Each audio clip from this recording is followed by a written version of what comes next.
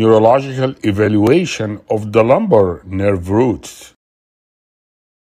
To study the involvement of any nerve root, we look for sensory changes, motor changes, and reflex changes. If there is a herniated disc between T12 and the L1, it will affect the L1 nerve root. Let us see what changes we can find if the L1 nerve root is affected. We start with the sensory.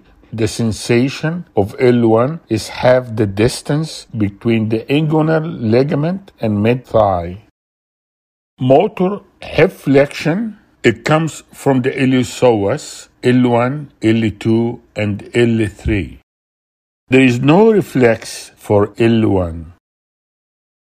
Disc herniation between L1 and L2, it will affect the L2 nerve root. The sensory changes will be in L2 mid-anterior thigh. The motor will be hip flexion, L1, L2, and L3. Hip adduction is L2, L3, and L4. Knee extension is L2, L3, and L4. There is no reflex for L2 nerve root. How about a disc herniation between L2 and L3? It will affect the L3 nerve root. The sensation of L3 will be the distal part of the thigh, including the knee area, as illustrated in this diagram.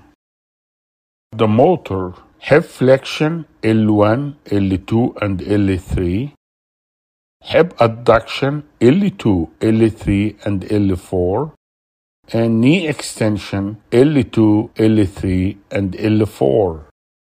There is no reflex for L3. A herniated disc between L3 and L4, it will affect the L4 nerve root.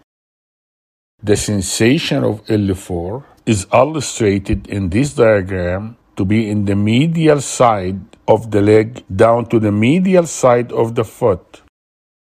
The L4 motor will be an ankle dorsiflexion, and we usually test the ankle dorsiflexion, the tibialis anterior, and knee extension. It's involved in L4.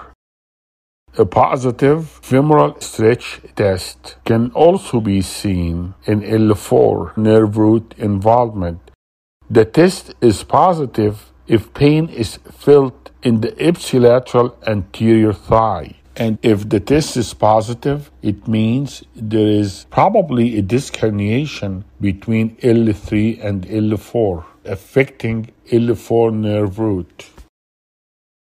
Reflexes. The patellar reflex is mainly L4. A disc herniation between L4 and L5, it will affect the L5 nerve root the sensation will be the dorsum of the foot and the leg. The motor will be hip abduction, the gluteus medius, and big toe extension. The L5 nerve root is very popular in the exam. So they will give you a scenario. If you see a big toe extension, that's an L5 nerve root. It is 4 and 5 disc herniation. They can give you Trendelenburg gait, that's an L5 nerve root, gluteus medius and minimus. Because of disc herniation between L4, L5 will affect L5 nerve root. So both muscles are supplied by L5 nerve root.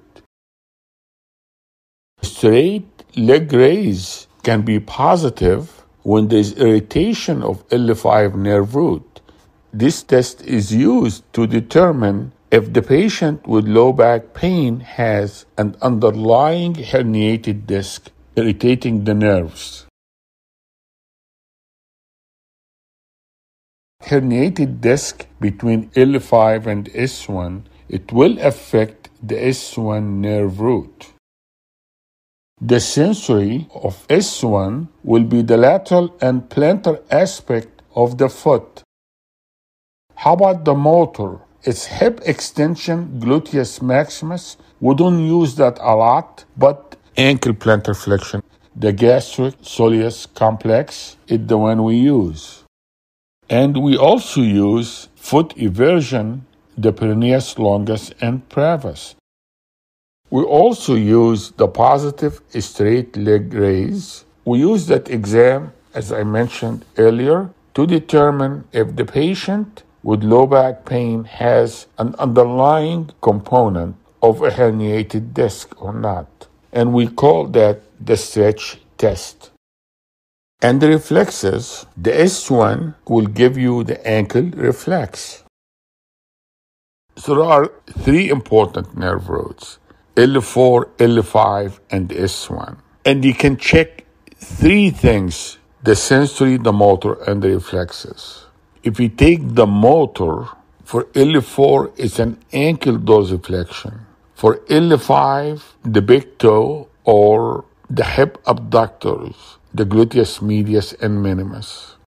The S1, ankle plantar flexion. Sensation, medial side of the foot, is L4, top of the foot is L5, lateral side of the foot is S1.